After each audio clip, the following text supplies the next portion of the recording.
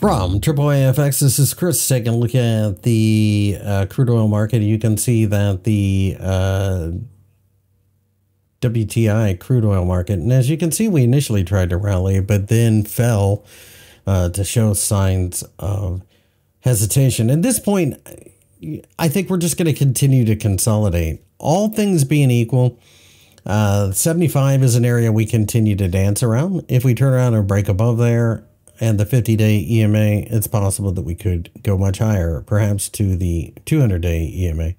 In general, I anticipate that this is a market that is going to see a lot of noise. End of the year liquidity issues, of course, come into the picture. But right now, I think a lot of traders are focusing on the idea that perhaps the Federal Reserve uh, loosening monetary policy during the year in 2024 could send oil higher as it should pump more juice into the economy.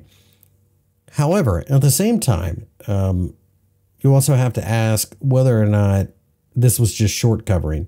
So I think this remains more or less a buy on the dip scenario, recognizing 68 underneath as a major floor in the market.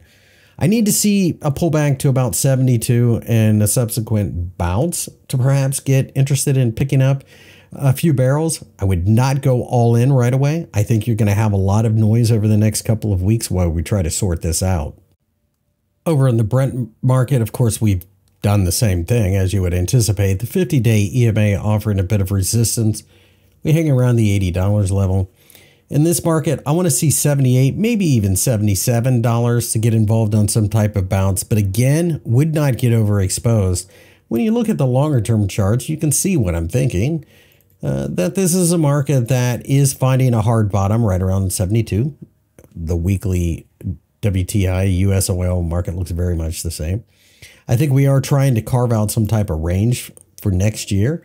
Uh, we are closer to the bottom, so I do think that you look for value opportunities. But again, you don't jump in with a full position, especially right between Christmas and New Year's.